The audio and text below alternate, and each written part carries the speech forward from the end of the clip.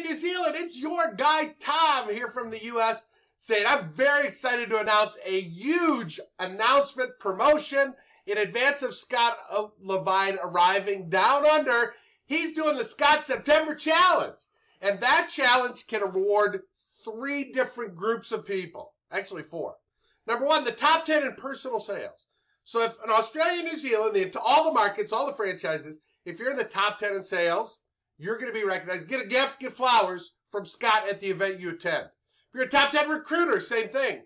If you're the top in any level, so the top branch in total volume, the top area, top division, top senior division, top sales VP, the top in each in each one of those recognition leadership levels in September gets special recognition at the meetings. And then fourth, you can all get a gift from Scott when you share Park Lane with one person. One recruit, one qualified recruit for the month of September, and you get a special gift and recognition on stage. That takes a special moment and makes it all the more special. So you're in. Scott's Top 10 Down Under Challenge, eh? You're in. You can be there. If you want to be in, what do you have to do? Would you agree? Okay, what do I do to make this happen? Number one, everyone share one. Everyone share with one person. One person share Park Lane with. Get them to come in and try. They have nothing to lose. Nobody is worse for trying our business. They never are. It's a great, great opportunity for people. Secondly, build your own personal lineup.